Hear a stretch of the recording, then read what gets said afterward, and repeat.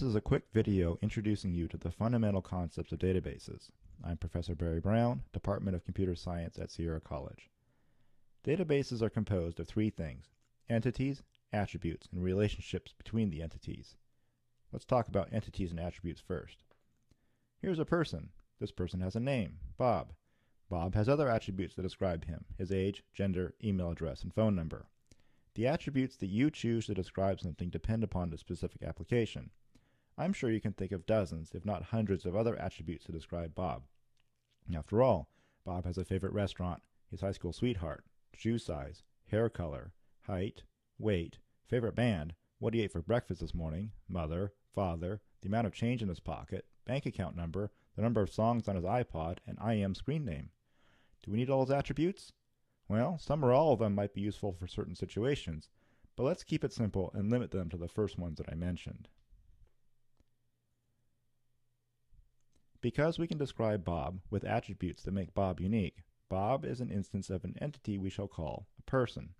The person entity, along with its attributes, can be used to describe many persons. Here's Sue, Frank, and Alice. They all share the same set of attributes, but the actual values may be different. Every entity needs an attribute that uniquely identifies each instance of that entity. We need to find an attribute of a person that allows us to identify each and every person separately. Such an attribute is called a primary key.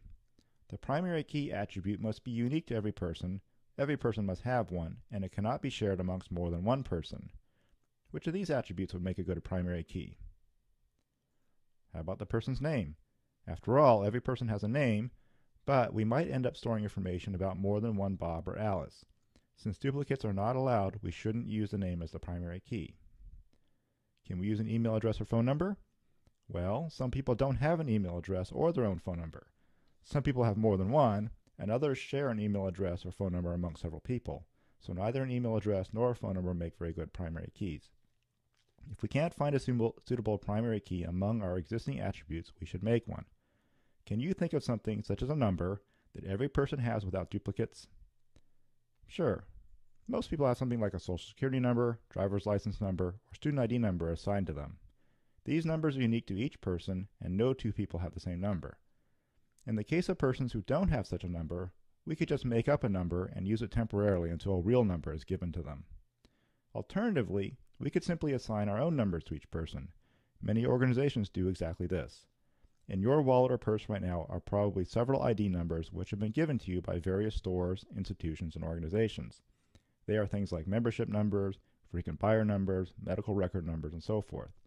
So let's do that for our person entity. Here, I've assigned the ID number 100 to Bob, 101 to Sue, 102 to Frank, and 103 to Alice.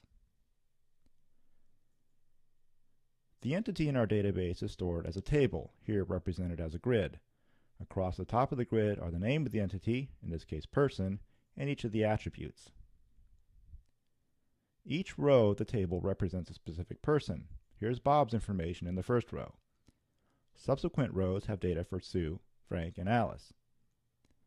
A table is how we store data for an entity. The columns of the table are the attributes. The rows, also called records, are the specific instances of that entity. In, e in this case, each row represents an individual person. Let's expand our database to include information about the cars that our people own. We'll describe a car by its make and model, such as Ford and Escort.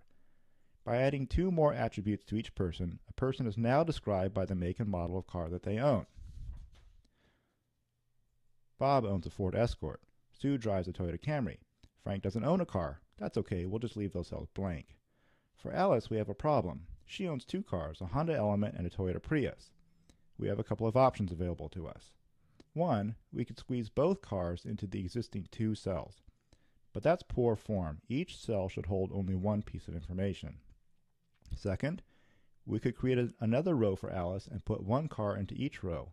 But we end up duplicating Alice's personal information and we end up duplicating her, her primary key, a definite no-no.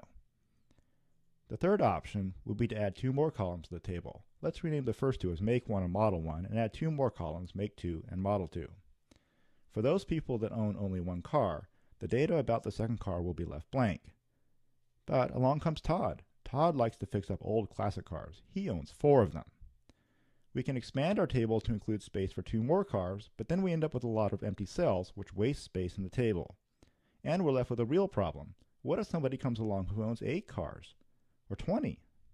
How do we store information about people and the cars they own when we don't really know in advance how many cars they could possibly have? Taking a step back, what we're really talking about here are two different things people and cars. Cars are described by a set of attributes that are different from the set of attributes that describe people. Cars and people are really two separate entities. A person is described by their ID, name, age, gender, email address, and phone number. A car is described by its make, model, and year.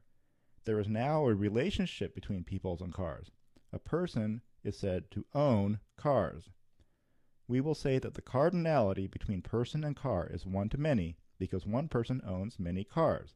Many in database speak means any number of, including zero. Other cardinalities are one to one and many to many. To represent this relationship in our tables, we need to add an attribute called owner ID to the car table that establishes who owns a specific car. This kind of attribute is called a foreign key because its values are the primary keys from the person table. In a foreign key, duplicates are allowed, in fact, duplicates are necessary because the same person could own several cars. Here's Bob's car. Here is Sue's car. Frank doesn't own any cars, so his ID number doesn't appear anywhere in the car table. Alice owns two cars. Her ID number appears twice in the car table.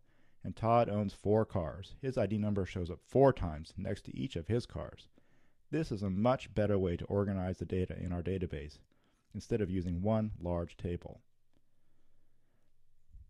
Let's review some of the terms and concepts we covered in this video. An entity is a thing that we want to represent in a database. An attribute are things that describe an entity. Each entity is re represented in a database as a table.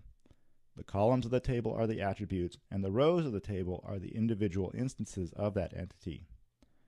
A primary key is needed to uniquely identify each row of a table, and a foreign key is an attribute of one entity that refers to a primary key of another entity.